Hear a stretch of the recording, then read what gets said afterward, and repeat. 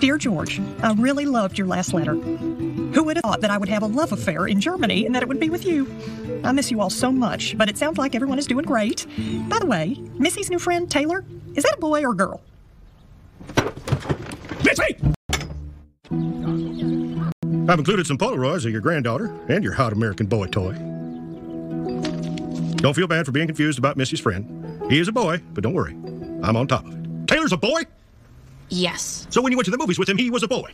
Mm-hmm. And when you went swimming at his house, he was a boy with his shirt off? I never said he was a girl. No, I said he was a girl and you didn't correct me. I don't remember who said what. Yes, you do. And that is the last you're seeing of Taylor. Dad, it's not what you think.